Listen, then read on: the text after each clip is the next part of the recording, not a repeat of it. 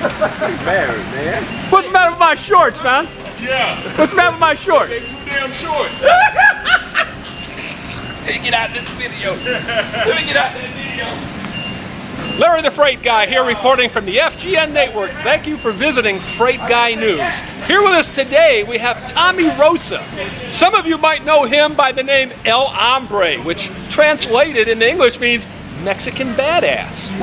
But he's better known as being the Mexican Denzel Washington. If we're lucky, Tom might give us that infamous pose Mr. Spielberg. showing how, how similar he looks to Denzel Washington. Look down at your shorts. Okay, Tommy, give us give us your best Denzel Washington pose. Your shorts like this right here. Whoa, whoa, whoa, whoa, whoa, what we got? Your shorts. You wear your shorts just like this. there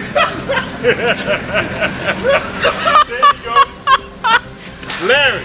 That's Larry right there.